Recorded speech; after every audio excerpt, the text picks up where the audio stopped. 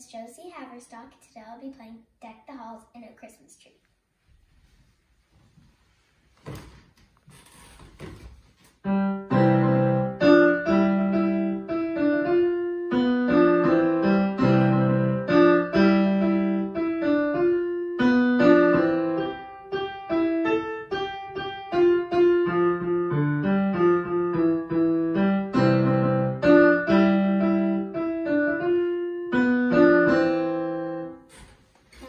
Bye.